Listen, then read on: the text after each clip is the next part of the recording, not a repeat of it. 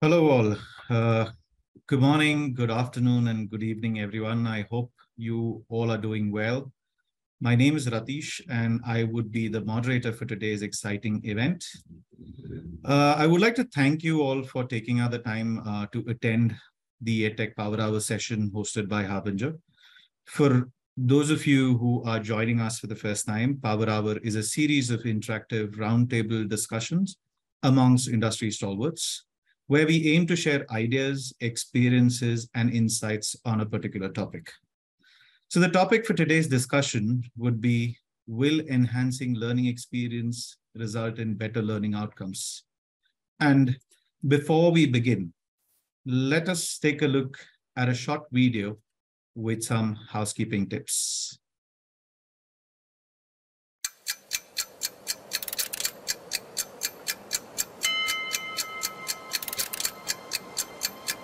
Welcome to Harbinger's flagship interactive webinar, Power Hour.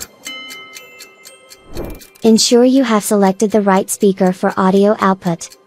Test your speaker to ensure it is working fine from the audio settings option on the lower left corner of your screen.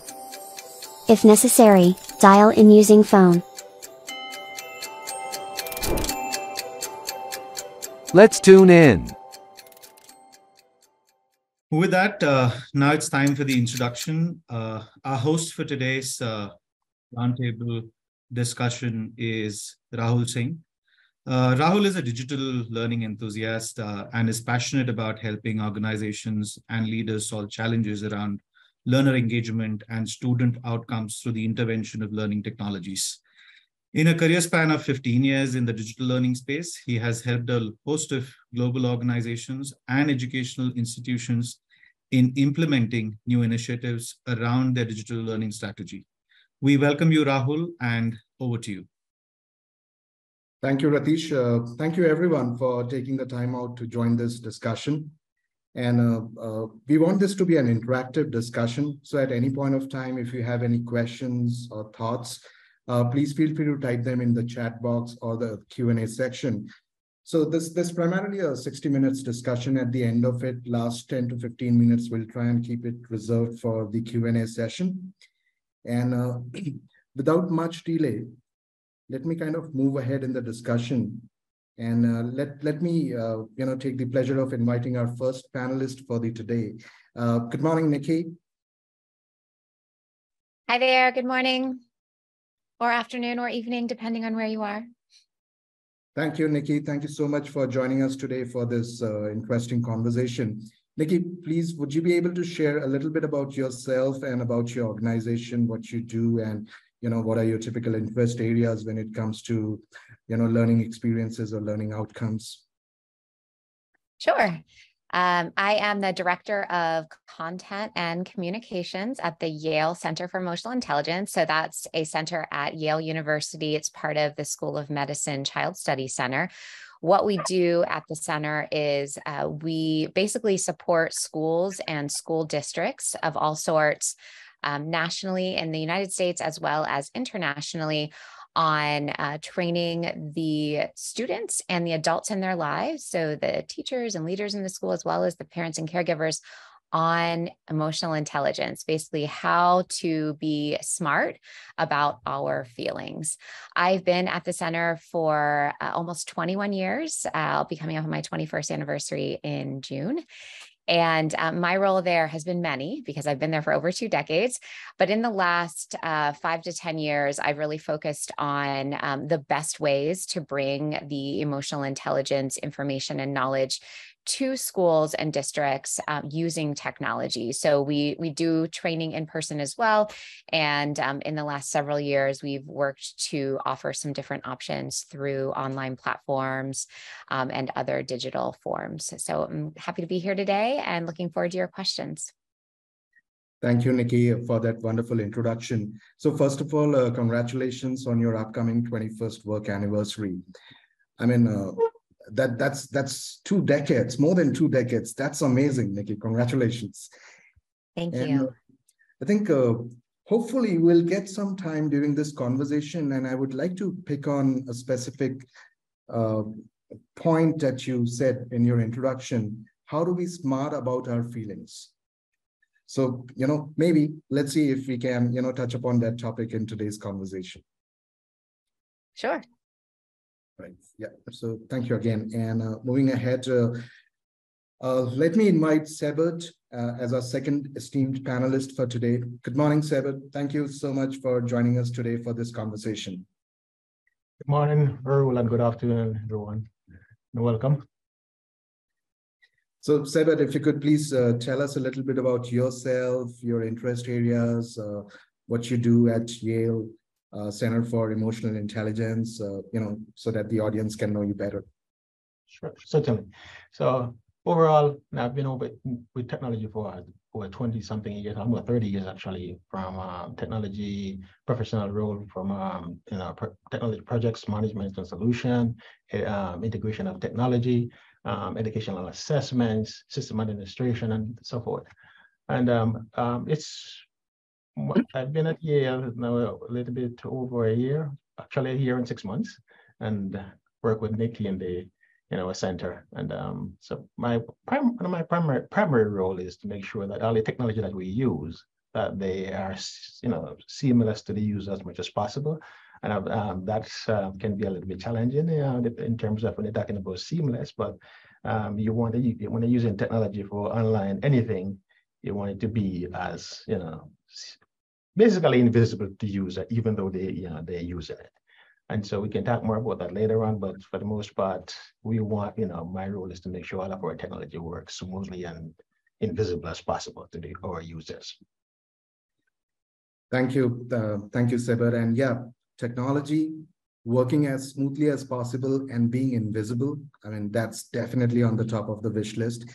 And 30 years in the technology space, and most of this has been in the higher education domain, or it's a combination? com combination, but if, um, roughly four uh, four universities and colleges um, um, back and forth. Um, and uh, actually started out as a system builder and then in, um, um, system administrator, then turn into assessment. I also have a, so uh, my background include computer science and, and educational technologies and figure, you know what, let me kind of merge the two together to get the best of both worlds. And because I've, you know, I, I guess one of my interests is that, especially from an adult learner's point of view, I'm always interested to see how our seniors use technology and um, their reaction to when something new comes out and if it's um, not as intuitive as it's supposed to be, their reaction, um, whether it's a positive one or a negative one, or will they be more engaging or tend not to use technology? These are the type of stuff that I've been um, looking at and exploring and um, over the years, and it's always interesting. And, uh, and I know we didn't get into this, but I'm going to give you a quick um, um, um, idea. And so I remember some years ago, um, I'm not going to say what my what year or what university, but I remember we were talking about you know inter, um, getting everyone to use technology. And I remember one faculty member literally break down and says, listen, I can't do this. I can't use technology every day, you know, and to get her to relax, I said, listen, don't worry about it. I will, you know, I'm here. I'm gonna, you know, anything that you need, I will spend the time with you, sit down with you, and walk you through it. And Ra will have to tell you this. That makes a whole heap of difference. Right. Because now I had instead of somebody who were afraid, they now say, you know what, I have somebody to support me, and I'm okay with that. That can, and I can work with that. You know. Anyway, I think I've kind of jumped ahead, but um, sorry for that. Go ahead. No, no, not at all. And in fact, uh, that's an interesting aspect because we're going to touch upon those points today. And of course, I think uh, uh, you know 30 years in the technology space, and you might have seen some tectonic shifts. And of course, we'll touch upon some of those points. So once again, Nikki Sebert, thank you so very much for joining us for this discussion today. So what's our game plan for today? What are we going to talk about? So basically, we'll start with, uh, I think there's not much to talk about the need for enhancing learning experiences. Uh, everyone believes in it, but just for the, you know, setting the context purposes, we'll touch upon that particular point. The second is we look at some of the key components that constitute learning experiences. And then uh, We'll, we'll touch upon technology as an enabler for enhancing learning experiences. And at the end of it, we'll try and answer the question that how does or does learning experiences impact learning outcomes? Improving learning experiences, does it impacts learning outcomes? So that's more or less our game plan for today. Right, so the need for enhancing learning experiences. And, and today we are, you know, primarily focusing on the adult learners, adult education, higher education, and, you know, workforce development. So as we all know, uh, the amount of digital transformation that has been happening in the higher education space for the recent past, I think, uh, you know, it's, it's fair to say that COVID triggered it to a great extent, but it was anyways coming. COVID or no COVID, the digital transformation was coming. And, you know, so, so this tremendous pace at which this digital transformation is happening. And what it is doing is there's this hybrid and distributed learning environments. So, you know, it's it's not as simple as that you enroll for a college, uh, you walk into the campus, you sit into a lecture, or the other option is you enroll for a college which has an online program and you do it online. So it's it's getting mixed, it's getting blended, it's getting hybrid. And what it basically is doing is it's has kind of disrupted the status quo. And eventually, this disruption is also ca causing some impact on the learning outcomes. Well, there could be multiple factors, but you know, if I had to kind of uh, call out the top three, I would say technology acceptance, both in terms of uh, you know the teachers, uh, faculties, and the students. Then the cognitive engagement. There's so much technology overload or there's so many applications or platforms to worry about and work about. So that cognitive overload. And then there's emotional challenges. For example, when you're in a, you know, you've been used to doing things in a face-to-face, in-person environment, but suddenly if you have to do in a virtual environment or a hybrid environment, that that needs a different kind of uh, mentality and sometimes you're you know alone in that space so that's where it comes in handy. And then uh, moving ahead, these are some of the key components that consider learning experience. And of course, uh, these are not the final ones. Uh, there could be multiple options. But you know, uh, to drive this discussion ahead, we picked up the first, uh, the five most relevant ones which we felt. And in fact, it starts with the relevance. So the first learning experience is relevance. Uh, and just to give an idea as to what relevance means is, you know, uh, let's say there is a workforce development program or a certification program. And let's say it's in the nursing education space. So whether that particular certification program is relevant to a particular individual that question needs to be addressed. And how can we address that question? We'll look we'll look at that in uh, you know further in our discussion.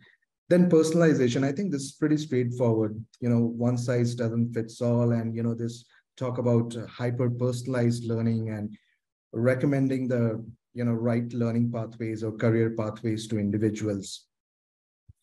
Then third is when it comes to adult learners flexibility is big right? Because these adult learners could be either, you know, college students who are preparing or getting ready for jobs or getting into the job market, or these could also be learners who have been in the who have been in jobs, but then they're coming back to learning to just to either you know uh, for, for the economic mobility, let's say to get a better job or to get a get a better payouts and those kind of things. So flexibility is definitely has to be there because learning is not the only focus area that they have currently at that point of time in their career or life.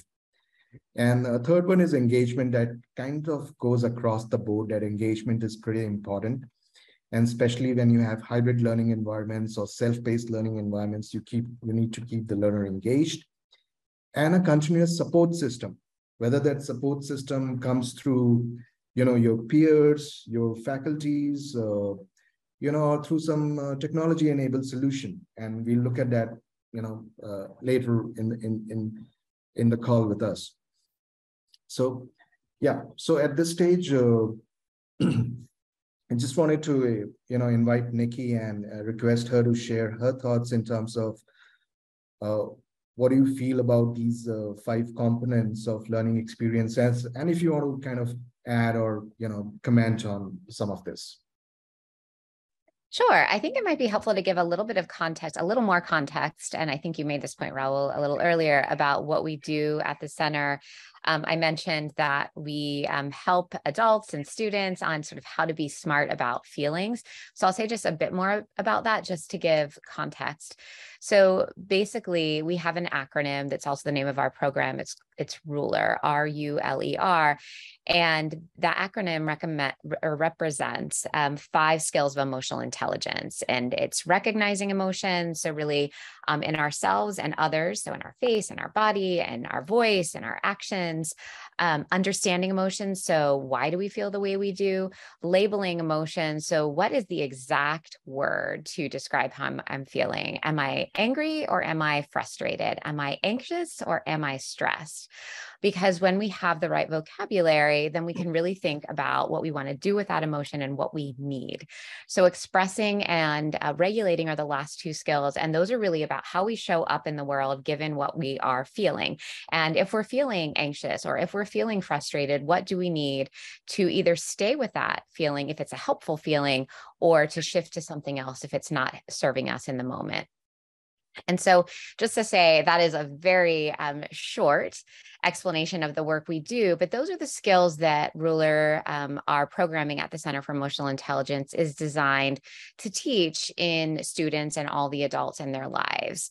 What we do at the center, or how we teach those skills, is we have um, in person trainings as well as online platforms that reach the staff in the schools and in the districts. And so the users of our um, technology are school teachers and school leaders, as well as some district level administrators um, in school districts.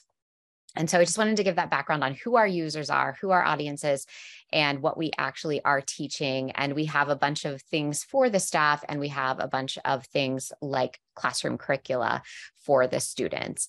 All of that to say, we only had our in person offering for many, many years, uh, most of the years that I've been at the center. And we decided, um, and this aligns with the, the previous slide in terms of the, the hybrid experience becoming more popular. We decided around 2014, 2015 that we need to also offer digital supports. And so we had a hybrid version, an in person training, and then additional supports offered online that we launched around 2016, 2017. And then we decided, you know, maybe we want to also offer our training online as an option, not to require people to, to do it online, but sort of as an equitable solution so that if people couldn't come to Yale University or we couldn't come to them, then they could enroll in an online version of our training. So we actually piloted that in uh, 2019 serendipitously and fortunately, right before the pandemic, we had this option in place.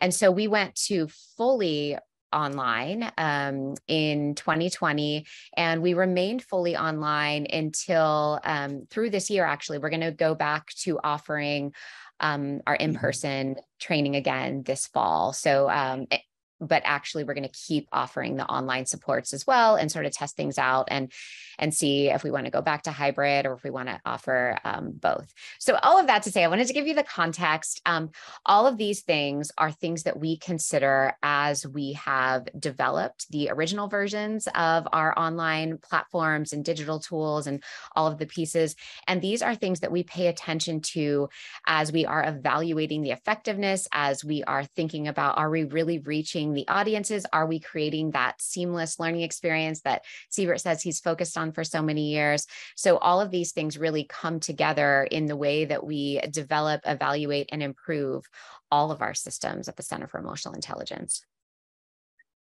Uh, thank you, thank you, Nikki. Uh, that's uh, that's interesting, and thank you very much for giving that detailed context. Uh, pretty interesting stuff that uh, you and your uh, organization is doing.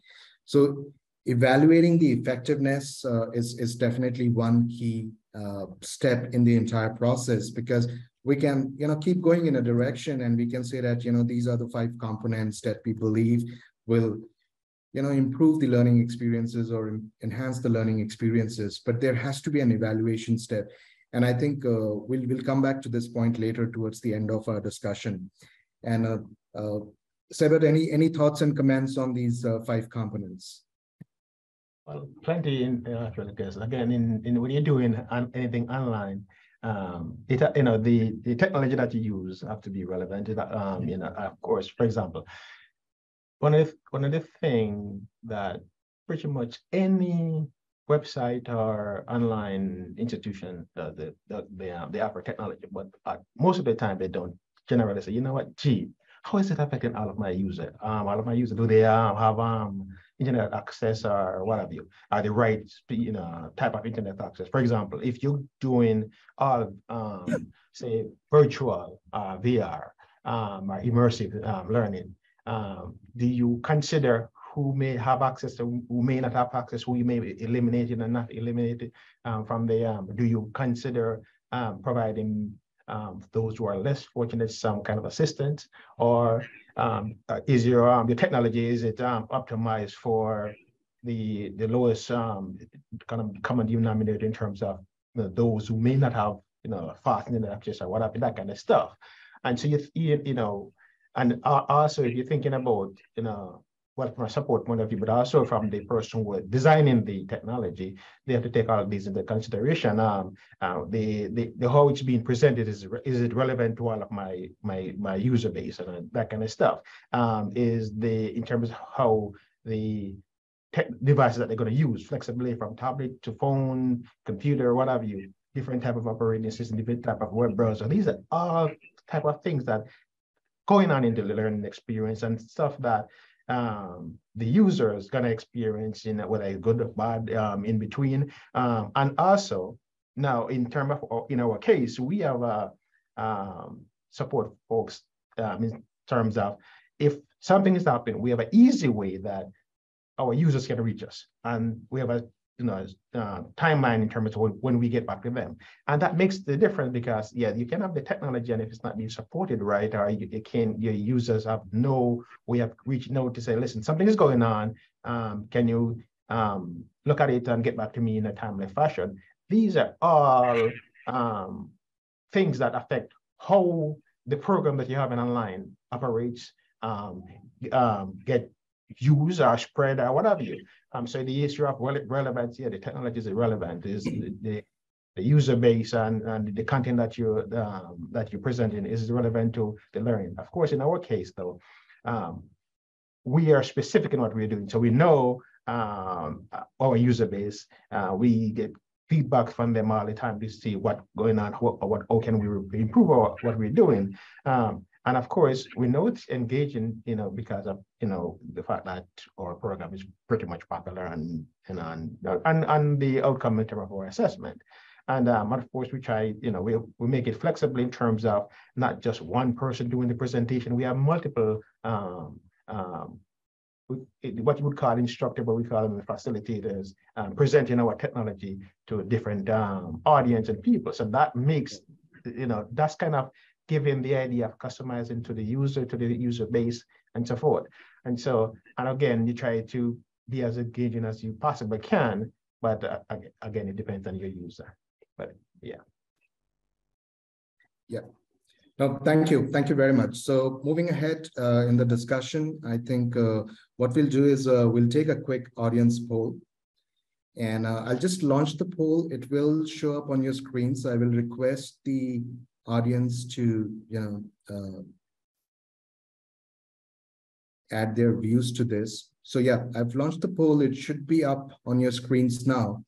Primarily, the question is, in your point of view, which of the following are the key components that constitute a learning experience? And this you can select multiple options. So yeah, I see some uh, responses coming in. Thank you very much uh, for the active participation. We will probably keep this open for another 20 seconds or so, and then we'll kind of look at the results.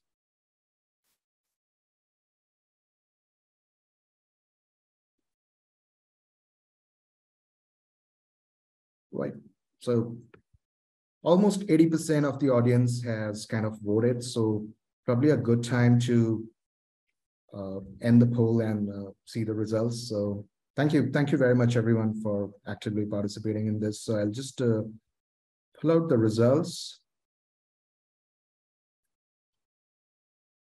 All right, I hope you can uh, see the results at your end and uh, I see there's a smile on Nikki's face, probably uh, some of the areas which Nikki believes strongly in is are the top contenders. So uh, engagement, 87% is an outright winner, followed closely by relevance. Uh, these are big indicators for us and, and thank you. So engagement and relevance, and of course, personalization, flexibility and support are right up there, uh, you know, at the third position, joint third position. Okay, so now we'll move ahead in our conversation. And what we will do is basically, we will pick up one of the each components and I will share an example or a use case where technology can come in as an enabler for enhancing learning experiences.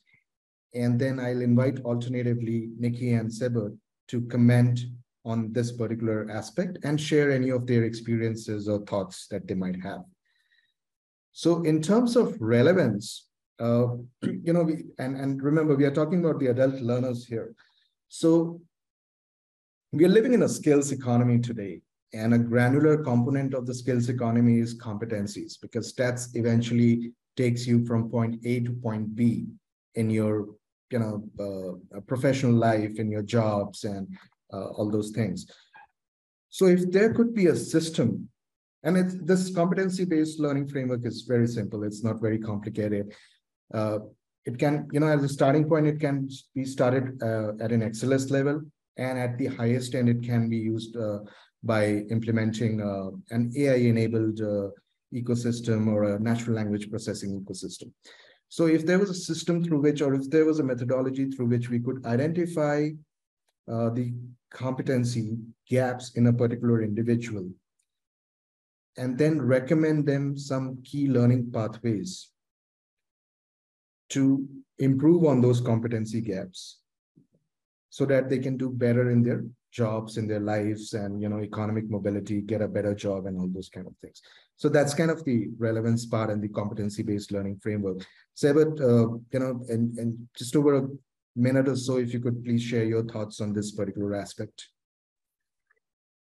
From a, um, uh, again, from an adult learner's point of view, in a case like this, in terms of competency, one would have some um, curriculum in place, for example, um, curriculum in place, for example, but you also may do an assessment to see where the learner, um, you know, are in their in their current level of whatever the content that you're trying to present.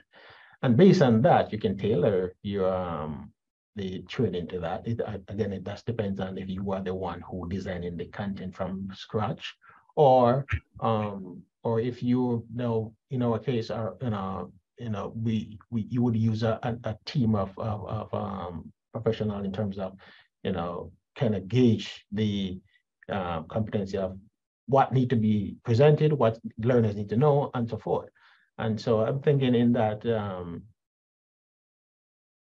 hopefully based on that um, feedback, you know, for example, in your in your learning management system, um, that could be a, a, you know, a preliminary assessment that saying um, that walks through them walk them through what we think they should know, what they don't know, and oh, we need to adjust our curriculum to um, adjust where they are. Right.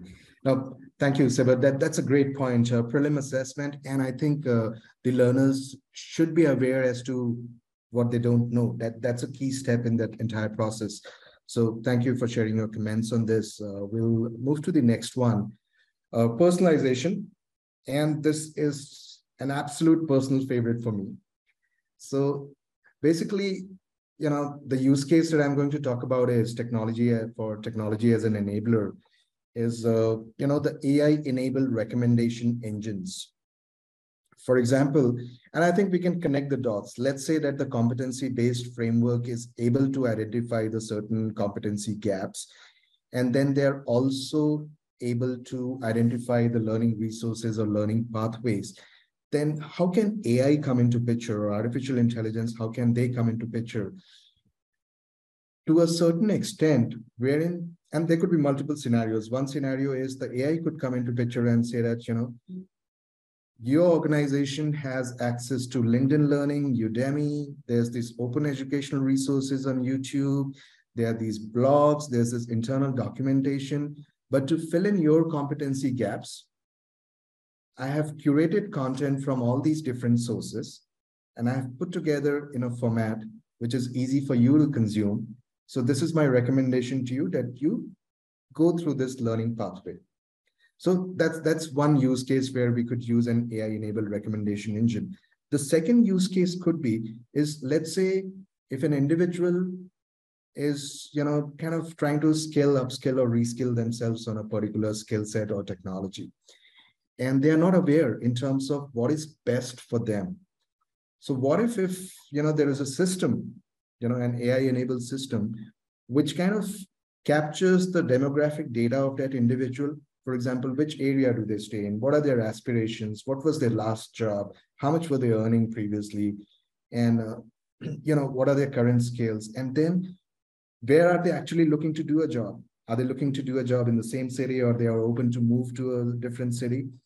And then that on the other hand of the uh, ecosystem, there are these job boards which reflect that, okay, these are the industry areas or specific skill sets which are the most highest paying jobs in your particular city or area or the area in which you're looking for a job and then they make those recommendations. So they connect those dots, availability of jobs and the aspiration of the individual and where they currently stand and belong, and artificial intelligence uh, makes those recommendations. So the, the variety of AI-enabled recommendation engines, there's just a couple of use cases that I share And I'll, I'll just take a pause here, and Nikki, I'll uh, invite you to please share your uh, comments and thoughts on this entire personalization uh, for learning experiences. Sure. I'll just say at first glance, I had a hard time um, differentiating between um, relevance and personalization. And then I realized that um, just to go back quickly before I go into personalization um, to relevance, actually that was the most important thing for us to consider because we're teaching about emotional skills which also involves social interactions and looking at people's faces and listening to their voices and interacting with one another. So we really thought about relevance before we engaged in any of our technology because we said can we teach emotional intelligence? Can we teach all these skills about our feelings virtually. And so, just to say, that was really important for us. And um, when I think about personalization, differentiating it from kind of the relevance of the content to the learners, and this really focusing on audience.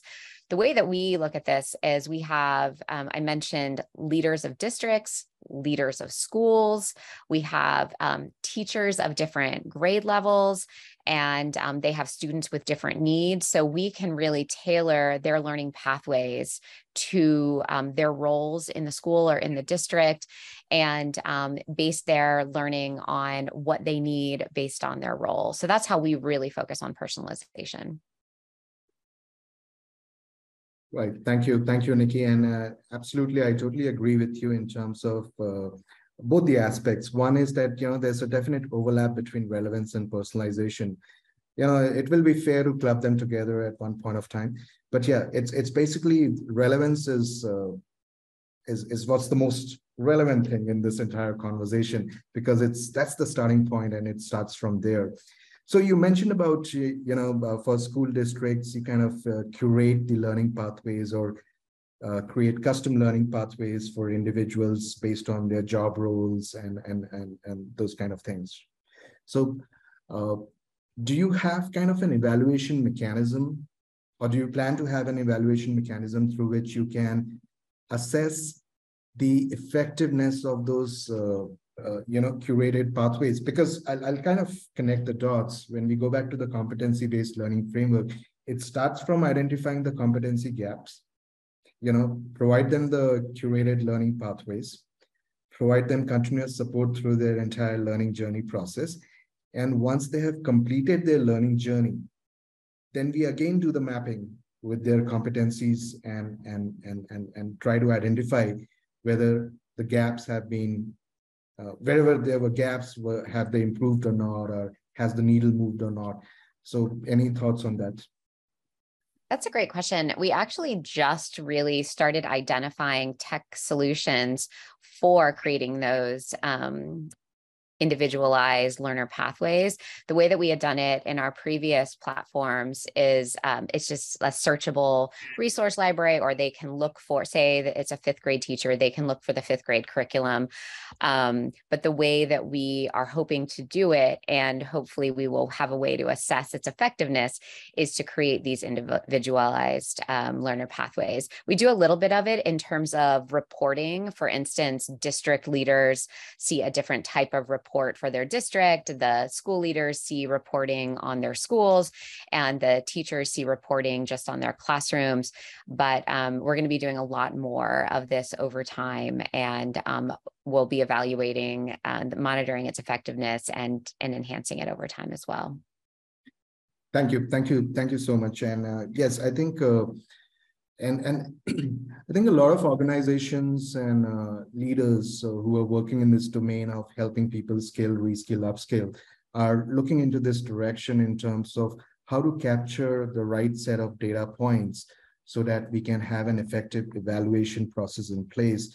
And that's where, uh, you know, probably, of course, uh, uh, you know, with the help of uh, human creativity, artificial intelligence can make sense because what it can do basically is it can take a lot of data, synthesize it and make sense out of the data and give, you know, recommendable, actionable points out of it.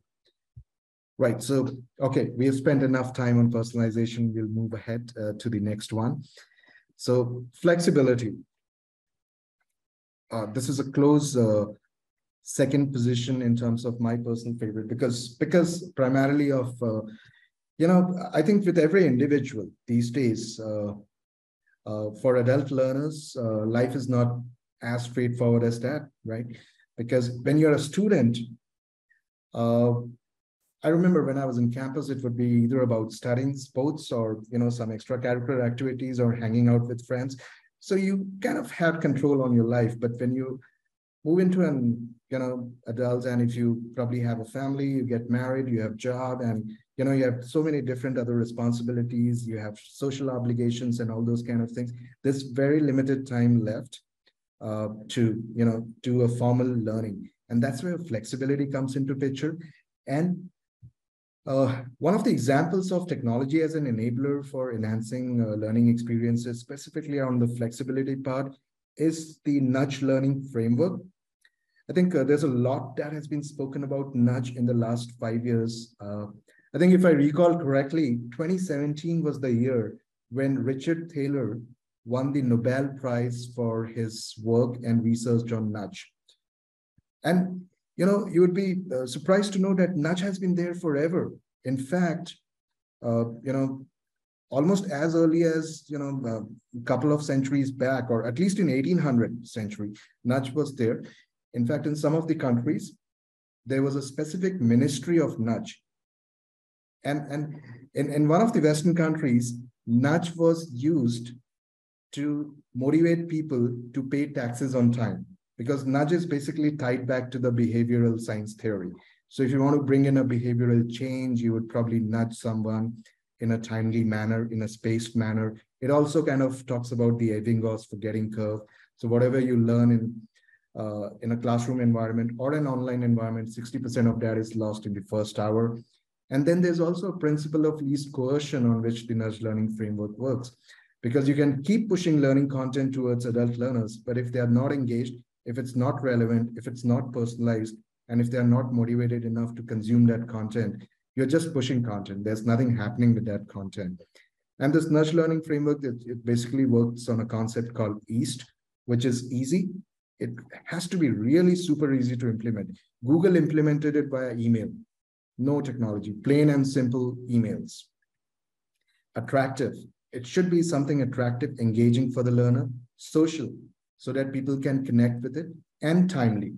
So that's where the spaced repetition comes into picture. And interestingly, there's a mathematical formula. It's a pretty complex formula, but yes, there is a formula for spaced repetition, which basically says that, you know, after how many intervals should you send out learning content or nudges to an individual to bring in that behavioral change? So there could be multiple options and uh, flexibility is one. So Sebert, uh, I know you were alluding to some of these points towards the flexibility part in, in the conversation earlier. So I'll request you to kind of please come in here and share your thoughts in terms of, and you have seen this across three decades. So what does flexibility means in today's context? Well, today's context flexibility is basically everything is the idea of personalizing um, how I, um, I want to do my learning. Now, that is for, for adult for adult learners it's a little bit more tricky because usually when they embark on the learning experience, it's usually to improve something about it could be their salary um, in terms of getting a higher um, scale in terms of the higher degree um, to influence your paycheck. Um, or from a teacher's perspective, um, it could be um, a slightly different rank or, you know, leaving it from uh, teacher to administration and the pay scale, you know, you, you sometimes you can be looking at issue of $10,000 pay difference. And so the flexibility in, in, in the learning is like, okay, I have to work all day. And then my, oh, how do I um, take the time to do my professional development, increase, you know, my like livelihood, my um, my experience, my professionalism per, per se. And so the flexibility in terms of how you use technology to do that is one option. In, um, and of course, the, the idea is in terms of it, it, all depends on the technology that you're trying, the content that you're trying to uh, consume. And so, of course, yeah, flexibility is is is first and uh, in in all of that because if it's not flexible for a person who have to work um, all day and then have kids and what have you, the you have to give them some way of saying, you know what, yes, we know you're working, um, but we're going to make this the and we know you perhaps possibly can't come to us, especially if you're in another state or whatever you. Make the te technology so flexible that you can learn and not in and not be endurance to whatever you're trying to learn or whatever. And so to me, in that in that sense, um, and, and, of course, um, that's one of my um, we call it um, interest in that. It, you know, I see technology that is, you know, it's supposed to be there. It's a bridge to getting where I want to go, but it's supposed to be flexible enough to, for me to get where I need to go and not hinder hinder what my progress. And so it, it's in that sense. It's um, and of course we we learn very fast um, in, in um, COVID um, that um, you're offering if it's not flexible that in, that is online and, and and easy for folks to get to you have you have a, you have, you have a problem. You um, because again your your customer base they're gonna go someplace else unless the only time that does is not the case is if you're the only shop in town that have that content that they're trying to learn. And, and again, now in that, so now the fact that we have, um, even in our case, yeah, I'm pretty sure um, you have, um, if, or if you're a university, for, let's look at it from a university point of view. And if you are, if you, if, you know, 10 universities teaching um, um, educational technology specialists, now the ones that have it more flexible is going to be the one that, you know, garner the best, better, uh, the more, the most um, students or learners you know, and so in that case, there will be flexibility come in. But I'm looking at flexibility and, and personalization and relevance, and you can't really separate them. They're intertwined, very much so. Mm-hmm. Right. No, that's that's a good point. Uh, I like the way you summarized it. I think uh, uh, I've, I've made a note of that point, and we'll come back to that point uh, later in the conversation. Uh, the intertwined part, uh, part. I think that's very interesting. So now we'll uh, move to the next block, and that's engagement. Uh, and uh, I think uh, that's very important because uh, uh, what's happening is, you know, if you're implementing hybrid learning solutions or self-paced learning solutions, people are learning remotely or, or they're alone at times. they're in middle of something in the flow of work, and at that point of time, they need some help and those kind of things. So again, for engagement part, there are multiple uh, different kind of examples, but uh, you know, I'll just pick up one example from a technology implementation perspective. You know, uh, I think uh, these hybrid campuses that we have in the higher education space these days. So uh, as a student, you are probably allowed to, you know, come to the, uh, it's, it's, it's like the hybrid working model, right? For, for you know, industry professionals that you can either come to the office, work from home, or, you know, kind of flexible. So if you do a Zoom meeting, there are four people sitting in a conference room and there are 10 odd people sitting in different Zoom windows. And it's, it's, it's suddenly different for all of us. And, and, you know, how do we ensure that we have that same engagement, right? It's two different things, right? Having 20 people in Zoom meeting will have a different level of engagement. 20 people sitting in a conference room will have a different engagement. But the dynamic suddenly changes if there's four people in conference and 10 people in Zoom. So that's what happened with these campuses when they allowed this hybrid uh, learning model. And that's where uh, quite a few campuses have already implemented metaverse and some are further thinking of implementing metaverse what basically it does is you can create a virtual environment for your campus. So it will actually look like that you're, you're entering into your campus. You can create your avatar, which looks as cool as you are. And then within that uh, metaverse environment, uh, the, the professor could, could be in the classroom and delivering a session, but the professor's avatar could be in the uh, uh, metaverse environment and your peers, your students, their avatars could also be in the metaverse environment. So even if you're not in the campus, you still have some connect. You can, you know, talk to the instructor. You can interact with your uh, peer students and those kind of things. So there's just one example for for engagement.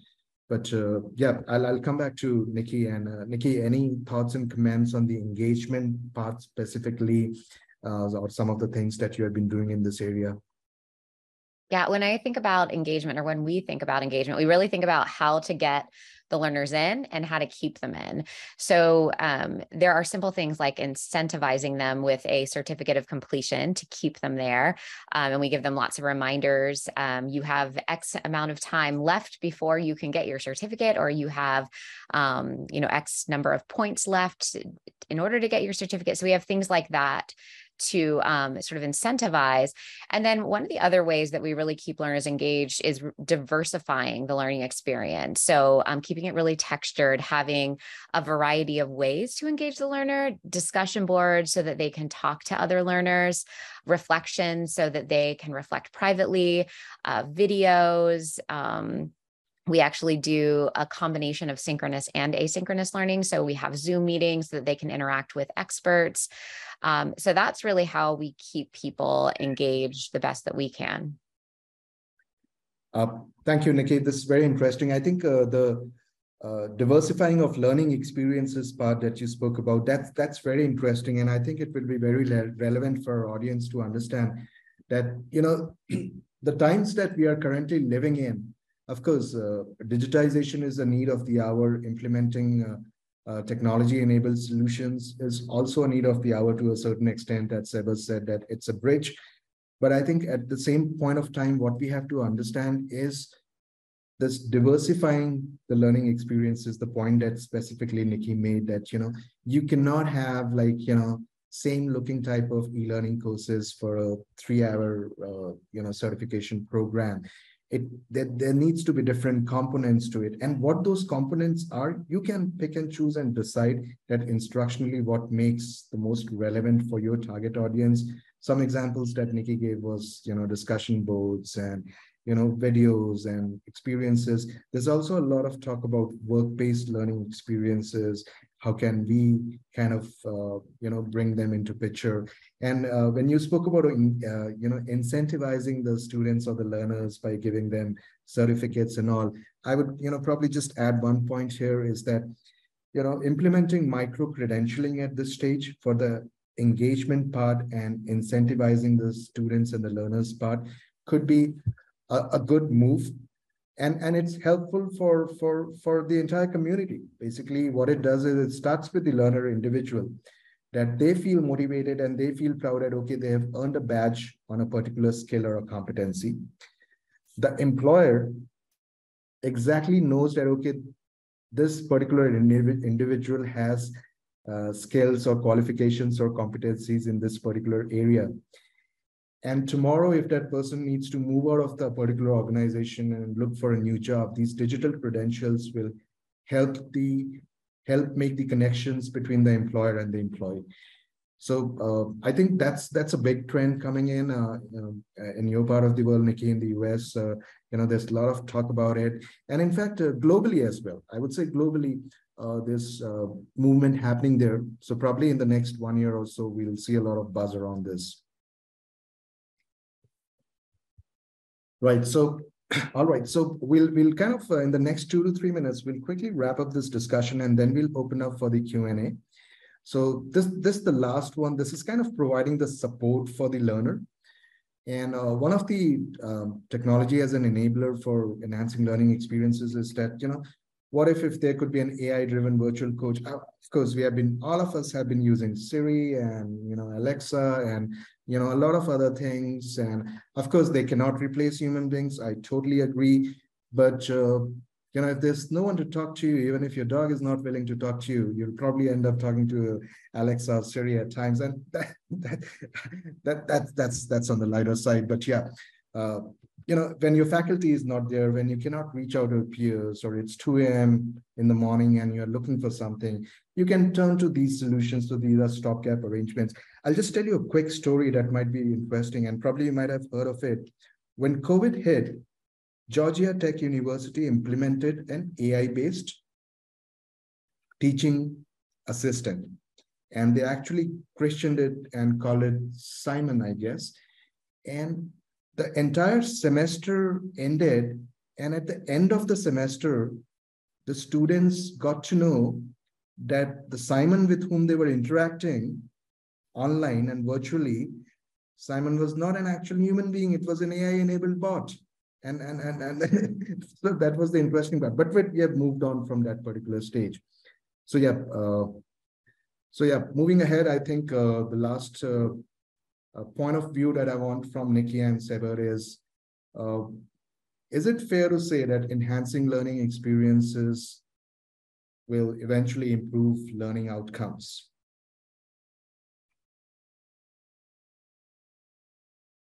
and nikki you can go ahead first Sure. I mean, I think um, it sort of seems intuitive that if we have better learning experiences, then um, there will be better learning outcomes. Uh, I know for us, just moving everything from um, non digital to digital forced us to organize in ways that we hadn't before and forced us to really consider some of these aspects that we discussed today, like personalizing to specific audiences.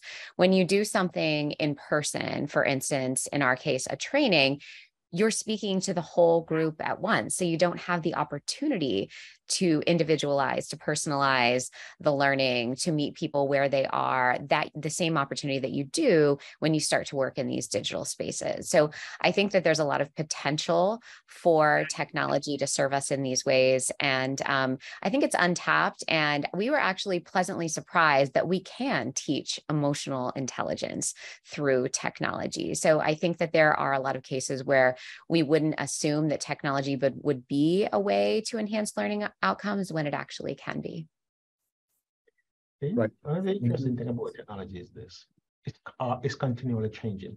Moore's law uh, is the one uh, case, but here's the thing: one, no matter what we do, technology will change, and it, the question is, how do we look at that? Or look at the emerging technology that's coming out, and kind of plan for it, and take into consideration how am I going how am I going to modify my current offering so that it actually improve improve the learning experience? I mean, prior to COVID, um, it, it, was optional in a lot of things. COVID forced us, especially when you couldn't go anywhere. For example, take stuff like um, during COVID, movies, theater places like those were are closed. And with what people did, uh, you know, Netflix um, experience um, um, share went up because people were just using more of that. You know, you're still being entertained. And then musician, uh, there was a there was a case where you have um, people who are living different, all over the world, and they combine a musical piece. And, and how they did it is amazing because you have, you know, the fact that you have them in different location and they, you know, splice that technology so that each person did what they have to do um, and let it work seamlessly, even though we know in our mind that they're miles and miles away, but it worked, you know. And so we're looking at um, what we do. How can it, and, and, and that's that another big thing for me is the issue of continuous improvement and the idea of learning the learning theories or even con connectivitism they talk to you about the fact that we learn together um, we we pick a little bit from everybody that we come in contact with, whether it's other students, our teacher, a movie we watch, uh, um, or whatever you, we take a little bit of all of that and we make it our own and we improve ourselves. And and that's technology. We, we're going to draw on technology, technology more now than ever before. As A matter of fact, I dare you this. Shut off your technology for a week. See what happens. Right. No, See thank you. yeah. Thank you. Thank you. Uh, once again, thank you so much, uh, Nikki Sebert, uh, for this wonderful discussion. I think uh, we had a wonderful time. I'm sure the audience would have had a wonderful time. And uh, with that, uh, Ratish, I'll hand it over to you. Thank you. Thank you, Rahul. Thank you, Nikki. Uh, thank you, Sebert. I think, you know, we've, we basically, you know, the session is, has been so interesting that, you know, we would possibly going back with some food for thought today. But, um, you know, I'll just take this opportunity to kind of just, you know, walk through what Harbinger does. And uh, as an organization founded in 1990, over three decades of experience uh, with uh, just over about 850 plus employees. Uh, you know, we work with HR tech, uh, ed tech, and uh, with health tech industry. So if we talk about the industries, the right, you know, health, e-learning, digital publishing um, are the organizations that we work with. And uh, all in all, uh, till date, we've done uh, you know more than 500 plus products that we've developed. We've we have 400 plus customers. And one of the important aspects that uh, you know Harbinger always believes in as an organization is uh, you know uh, in diversity, equity, and inclusivity, and that basically comes up on these numbers where we have 43% plus as a women workforce, and 40% of the top uh, executive team consists of women. So with that, uh, you know, I would like to open up uh, uh for questions. Uh, we only have about a couple of minutes left, uh, so we'll possibly take a couple of questions. Please feel free to type in your question in the chat or the Q&A panel, and I would be happy to bring them up for our panelists. And uh, Nikki and Sebert, if you want to drop your email addresses in the chat box, uh, please feel free to do so. If anyone wants to reach out to you to get a question clarified, or else if the questions come to us, we will kind of uh, read out uh, them to you uh, later on as well. So either ways, uh, you know, whatever works best for you. Yeah, keeping. Great. Sorry yeah, so keeping the time aspect in mind, uh, you know, I would just like to conclude, uh, if if that's okay with uh, Rahul, uh, Nikki, yeah. and Sebert. Absolutely. Great, yeah. thank you. Thank you, uh, Rahul and Nikki and Sebert for the wonderful discussion. You know, I have basically taken a lot of notes in terms of uh, relevance, uh, engagement, you know, diversifying learning components, building engagement, uh, to you know kind of enhance uh, the learning experience that a user gets. And i'm sure the audience must have also done the same. Um, so thank you again. Um, and uh, you know i would also like to thank our viewers for joining this session through zoom as well as linkedin. And you all have an amazing uh, day ahead thank you and have a great day